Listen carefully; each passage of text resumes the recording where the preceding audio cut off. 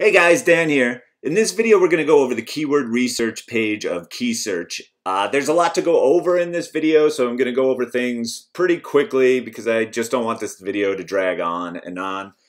Um, so basically, the keyword research page is the heart and soul of KeySearch. It's probably going to be your main working area.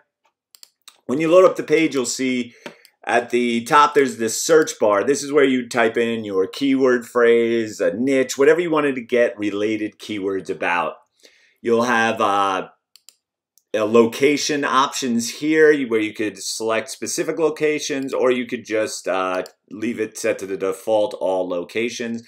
And then you have your search type. Uh, the default is related keywords, but you have our key search database, Google Suggest, Bing Suggest. These are the uh, keyword suggestions where we are finding the keyword suggestions from. We also you could type in a use a domain and get your competitors keywords or import a list. So there's a lot of options here uh, for finding related keywords. If you are unsure just leave it set to the default related keywords. That's the usual search um, type.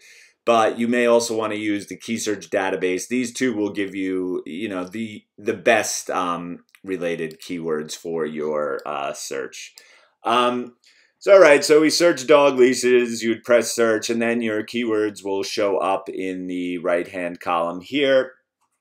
Uh, so, your search will show, uh, once it's loaded, it will show you the difficulty for the keyword that you searched, where you'll see our difficulty meter here. Also, on the right, you'll see the difficulty score, as well as search volume, CPC, uh, PPC. So, you got a lot of information here. Um, so on the left hand side, you have your search trends graph. This shows you the uh, how the keyword's been trending over the last 12 months, as well as our domains table. This domains table basically shows you which domains are available for that keyword. So the keyword is dog leashes, so dogleashes.com, dogleashes.net. Um, the X uh, means that the do that domain is not available. A check mark means that it should be available. Not always when there's a check mark. It's, it's complicated, but uh, most of the time when there's a check mark, it means those domains are available. If you don't like the default domains that we're showing for, you can change them here. Select your own um, eight domains that you want to see the info for. Now we have for each keyword, um, we show the front page uh, SERP analysis. Um, sometimes it'll be 10 URLs, but Google's not really showing top 10 anymore. A lot of times it's five URLs or nine URLs, all over the place. So we show whatever is found on the first page to judge the competition by. And you'll see all the URLs and specific stats. Um, so you can dive in even further with your with your analysis. Um, I know we show our difficulty score, but if you really want to see where each URL has strengths and weaknesses in the top 10, you can see that in the SERP analysis page. Then we have our rankings tra uh, slash traffic tab. This uses our rankings traffic database. Um, so if you click that, it'll show you the uh, how many you are how many keywords are ranking in our database in the top 100 for this specific URL, our estimated traffic for the URLs, the uh, same the amount of keywords ranking for that domain, and the estimated uh, traffic for the domain. You could click on the numbers here, and you could actually see the keywords that that URL that we found that URL is ranking for. There's so many cool things you could do with this uh, um, feature right here. I can't go into all of them right now, but we've got a bit uh, a tutorial on that as well. So you could just click to learn about this feature. And uh, it's just a great way where you could start really um, picking off some of your competitors' keywords um, and stuff like that. So I definitely learn about this feature. Then you can check the social stats by clicking that. We'll show you some of the social stats there as well as at the bottom, usually you'll see a search engine keyword suggestions. If Google has keyword suggestions at the bottom of the front page results, they usually will show eight keywords. Those will be these keywords here. Uh, you could click on them to load that search up. So if you click, uh, no, cancel please, but you could um, use those to search. Those won't always show. It depends on the actual keyword being searched. All right, so back to the SERP analysis there. Up top here, you can export some of this information to PDF or CSV. Um, we also have our deep analysis feature. The deep analysis feature just dives in further to this specific keyword.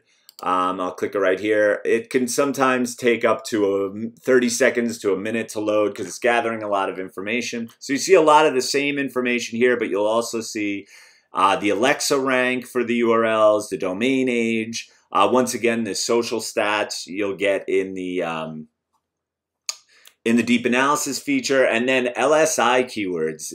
Uh, if you're not sure what LSI keywords are, we have a tutorial and write up on that as well.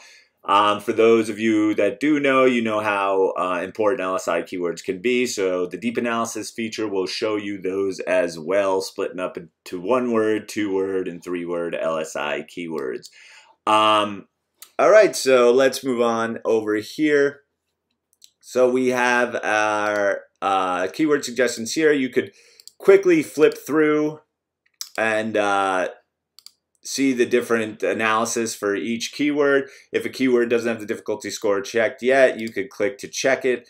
You could click multiple at the same time. Um, you don't have to do one at a time. You could uh, select, let's say, two or three or as many as you want and click the bulk check feature. Um, and that'll search those keywords. Um, so you don't have to do one at a time with that as well.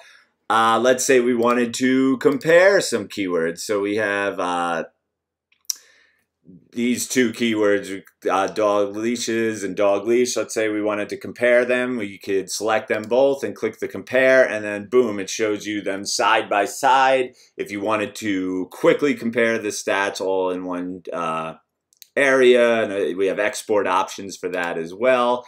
If you wanted to save these to a list, um, you were making keyword lists with the best keywords, just click the Save Keywords button and it'll bring up our list options. So you could save it to an already created list. You could add to a new list, um, demo list. And then if you clicked Add to List, it'll uh, create a list and add those keywords right to that list. Um, then we have a bunch of export options for uh, this page here. Um, too many to talk about here, but you could export to CSV, TXT, PDF. You could copy to clipboard. You could export just the keywords, the keywords with stats, the keywords uh, with the analysis table. So there's a lot of different ways to export. We tried to give you as many uh, ways to export the keywords as possible. Um, you can use our filter there.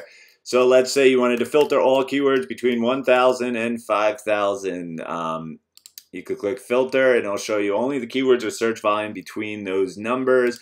Uh, you could use multiple filters at the same time. So let's say only keywords, only uh, keywords that have the word dog in it from 1,000 to 5,000 search volume and a CPC over $1. Uh, we could filter that as well. And if you want to just go back from the start, just click the reset filter button there. Um, then we have our search history. This little folder right here shows you your search history. Um, you can just click uh, a past keyword there and it'll load right up, load your stats right up there. So um, that is basically the keyword research page rundown, guys. Um, I guess that's it, guys. I'll see you in the next video.